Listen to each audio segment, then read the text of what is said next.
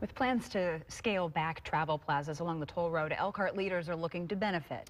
Yeah, when those plazas scale back what they offer travelers, city leaders want to draw people into them. WSBT 22's Ed Ernstis shows us the tourism office will do a study to find out what might work at the interchange, including new entertainment and recreation attractions.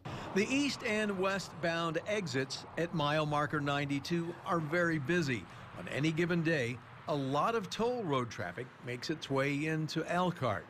Uh, transient travel for our destination, just like many destinations, is about 30% of the total number of people who come to our area, either visiting friends and relatives or just driving through. Word that the two nearby toll road plazas would be scaled down was seen as a chance to fill the void.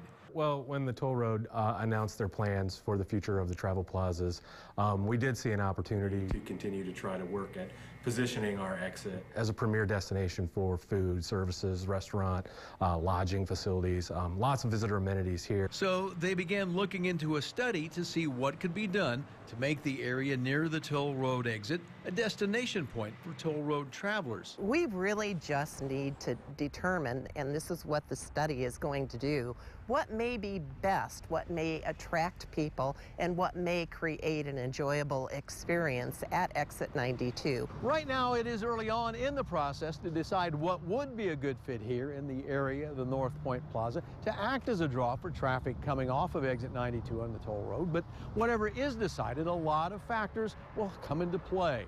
There are a number of ideas that may come out of this in terms of what may fit well. That could be entertainment, that could be recreation, it could be a number of things. Ed Ernstis, WSBT 22 News. Well, the city already added sidewalks and is making street and landscaping improvements to the North Point area near the toll road exit.